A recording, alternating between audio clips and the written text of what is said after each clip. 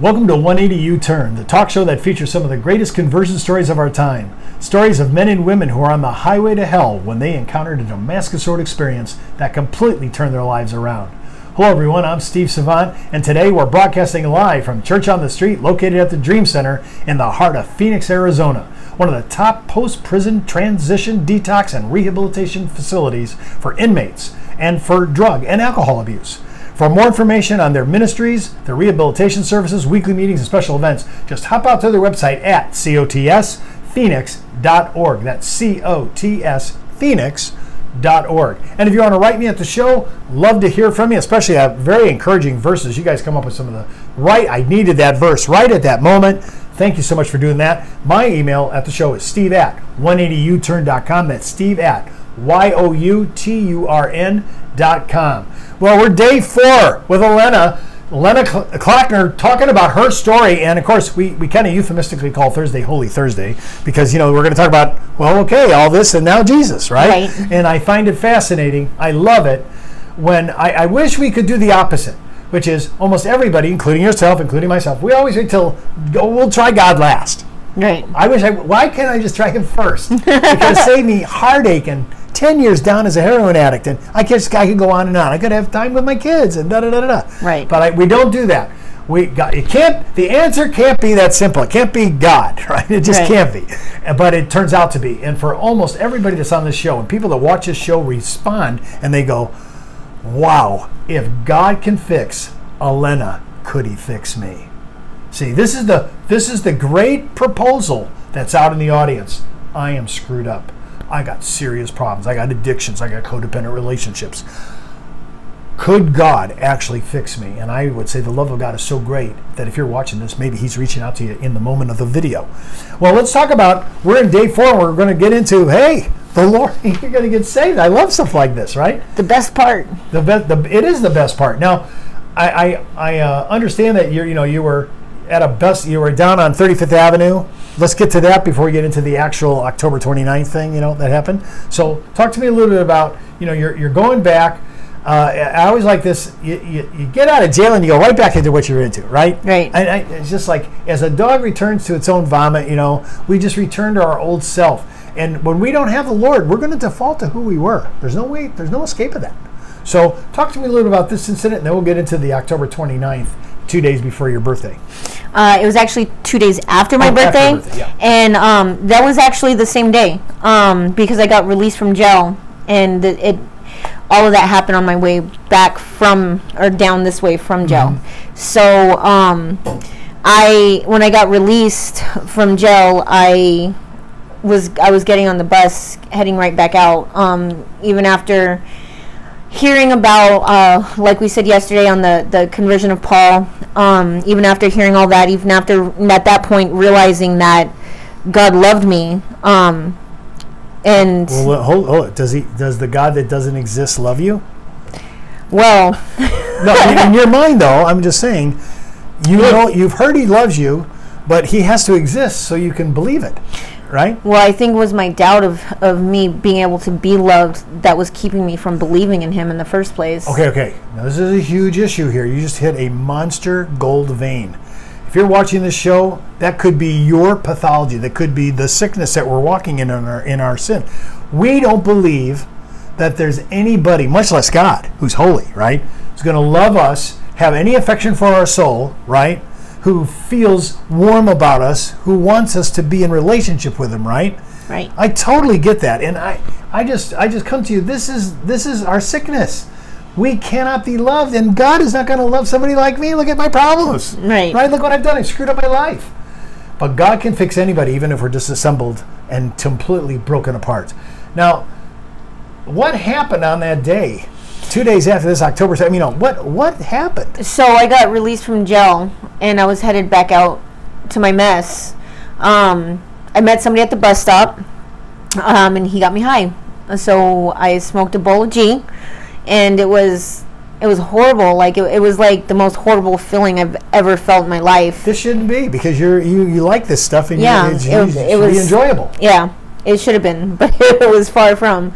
Um, so I, I really truly believe that when I heard the story when I was crying, like in my in my brokenness at that point, that's that's when when I realized that it wasn't that wasn't going to be me anymore, and this Mm-hmm. You- was you it. confirmation to that. Yeah, So this distaste, right, was your first indication. I am something's a- afoot here. Something's Yes. going to happen. yes. Wow. Um, so when I the bus finally came and I got on the bus, I was still headed back out there. Um, and I just in my in that moment, I just something something inside of me. I'm headed down 35th Avenue on the bus.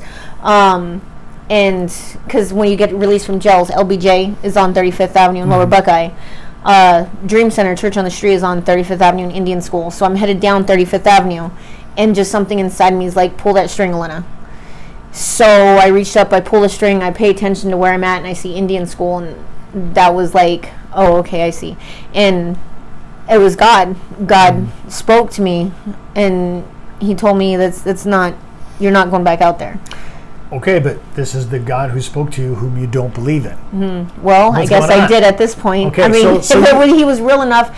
He was real enough to me to put the distaste in my mouth. He was real enough to me at that point to speak to me. It, it was kind of hard to deny at that point. But you're recognizing it as such. This is the big. This is the big revelation. Okay, so you wind up on your out date in the front of Dream Center, yes. right? Well, did you just walk in and say, "Take me"? Well, what happened was because like I had heard I'd heard for a while about Church on the Street for like five years, but outside it says Dream Center. There's a sign that said Dream Center. I didn't see anything about Church on the Street. So when I walked into the parking lot, I was going to keep walking, um, but somebody stopped and offered me a bottle of water. And that was that was God right there too, because I was about to keep walking, and they stopped. They offered me water, and I told them my story. I told them what happened, and I told them that I, I don't I don't want to be out there anymore. And so he told me to come inside and to uh, talk to the woman here that, that runs the, the women's placement. And um and I did. I came in. They told me she would be in a meeting for an hour, and I was like, "They're like, do you want to do you want to go and come back?" And I was like, "Oh no no no no no no I, I, I don't want to go anywhere." and um and I've been here ever since. I think it's something you walk into a place like this. You've had small little God indications that God is with you, right? Mm-hmm. You're taking your atheism, setting it aside, because now stuff is is happening, and you cannot no longer dismiss them. Right. And I'm wondering if you're watching the show today, you're going, hey, you know, I've, I've had little events like this that are accumulating in my life. It's starting to add up, you know, to, there might be the a God here, right? Yes. I, I really encourage you, if you're hearing a, her story, a Elena's story, it could be your story, right? So I want you to embrace it. And so now you're at Dream Center. And, you know, Dream Center is phase one, 180 days. It's going to be a little bit of a discipline, of regulatory change out that you're not, you know, you haven't lived before. Right. Yeah, they call it Bible boot camp because there's strict rules. There's Uh-huh. um, and it's classes all day and outreaching, which is amazing.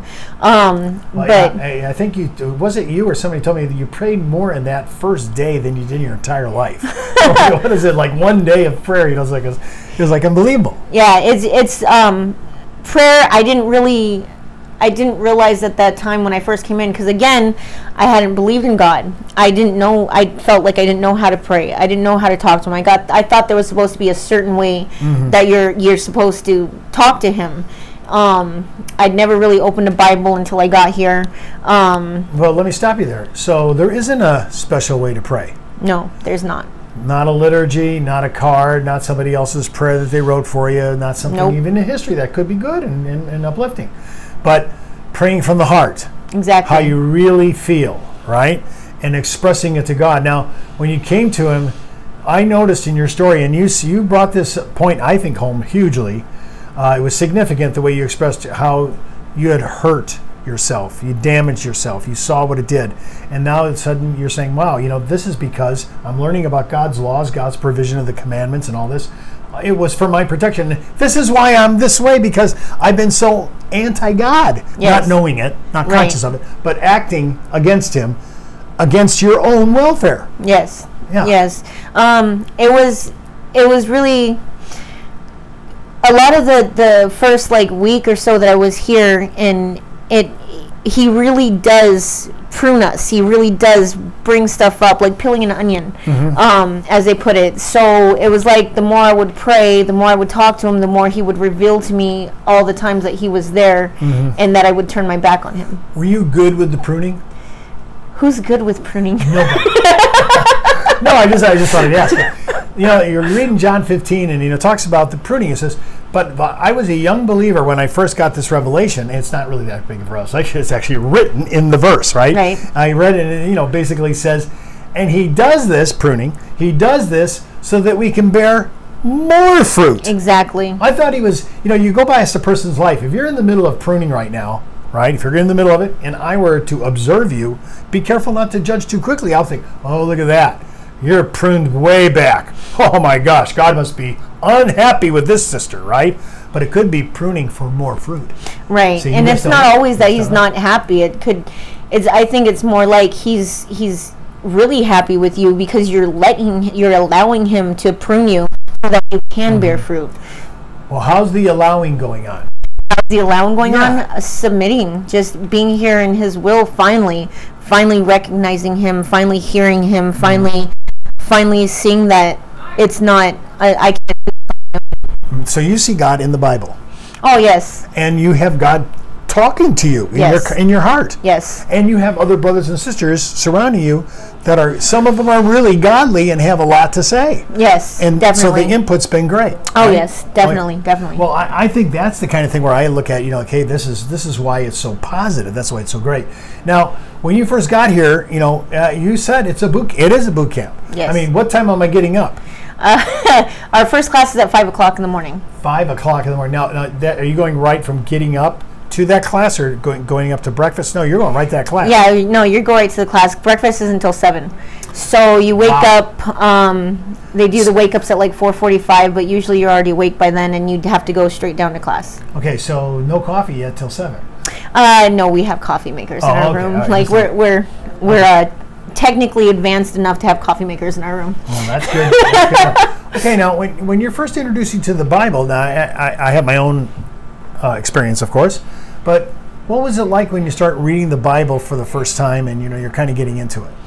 Um, at first, it was as I have I was having to kind of force myself into it. I started out, of course, in, in the Book of John because I had heard that that's where all new believers should start. Um, I agree with that. So I started out reading the Book of John, and um, it took me a little bit to really get into it, but like a good couple weeks or something. But once I actually did get into it, uh, it was hard to put down, like any other good novel. But I, I this totally one was all agree. true. I totally agree. When I first became a Christian, I didn't know anything better than a book starts at the beginning. I was 20 chapters into Genesis, and I want to love you, God, but this is a hard way to go. Right.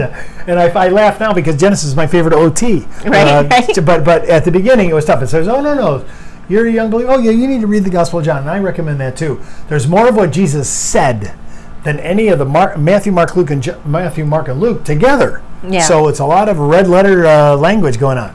So if you've never uh, read the Gospel of John, I, I always I said this to my boss uh, uh, years ago. I told him I said just read the Gospel of John. He says, well, when you read it, did you understand it? No, not all of it, but I read it in a sitting. Exactly. I well, mean, it was like just feed the boy, just feed him. He, I need it.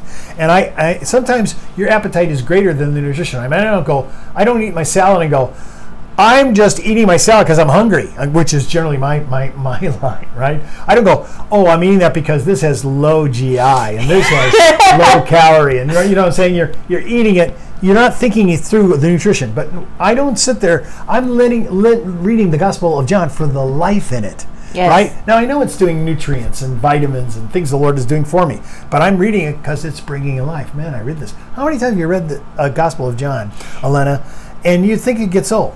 You're a reader. Oh, it yeah, no, it, it doesn't. The Bible doesn't get old. No matter how many times you read it, any of it, it speaks to you in new ways. You you see things with with new eyes every time you go Mm-hmm. into it, and it's always because it it is alive. The Word of God is alive. It's truth and spirit, and I love this verse. I quoted it in class this morning, uh, Psalm 119, 160, where it says, The sum, S U M, the sum of your word is truth. Not the not some of the word is truth. Right. S O M E. Right. Yeah. Well, listen, we're going to talk to, uh, tomorrow about all the things you're doing now here at the Dream Center, a part of uh, being part of the staff, I, I imagine, right? Leadership, yes. leadership, and so forth, and how God can take anybody. Doesn't matter who you are. By the way, if He can raise, if He can raise up Joseph from nothing, Yes. from nothing to become the second most powerful man in the world, I guess God can do what He wants. He can make anybody who's a nobody somebody like that overnight.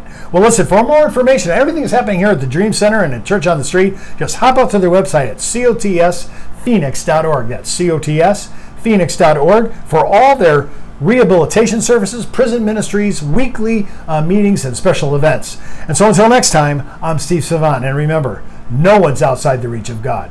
No, not one.